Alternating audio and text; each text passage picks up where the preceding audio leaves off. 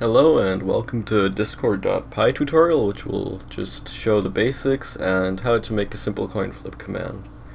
So, assuming that you already have your bot or if you just have this file which I'll link below, um, we're gonna make a coin flip command. So, or this can output any random text actually. It doesn't have to just be heads or tails, it can be whatever. So, let's make some more space for ourselves to work with. Let's go here, or beneath the following command, I guess, if you have other commands, but it should be under async def on underscore message, message in parentheses, and then colon. I'm going to do if message dot content is coin flip colon. It means if the user sends a message that's that reads coin flip, um, what we're going to do is we're going to do the following. So we're going to set up a variable that has a list in it, so let's just call it variable, whatever. Set it equal to here, these square brackets to find the list. Here, let's add a new, a new value. So how you set them up is that you put them in these quotes here, and then you finish it off with a um, comma, I can't speak. Alright, so let's make it tails.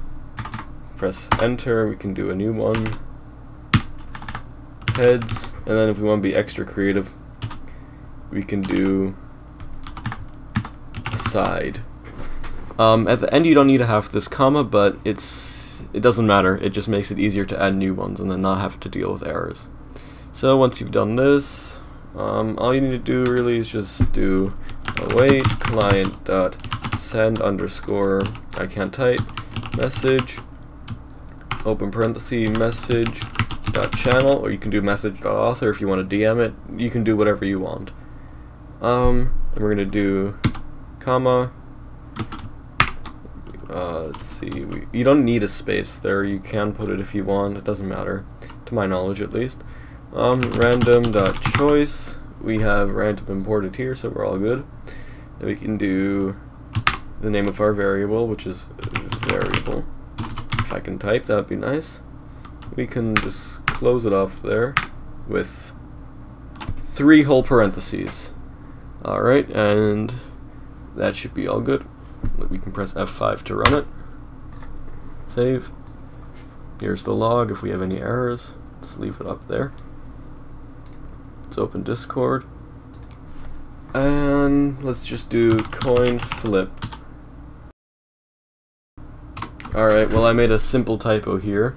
I did massage. So now we can restart it, press F5. Here we go. Hopefully it'll work now. And let's just do coin flip. There we go. Keep doing it. I can't type. There we go, we got all three of them. You can do this with with uh, whatever you want, It doesn't have to be heads, tails, or whatever. And this is the server I made, I'll link it in the description. Uh, you can get help with your bots and whatnot. We have about 60 members right now.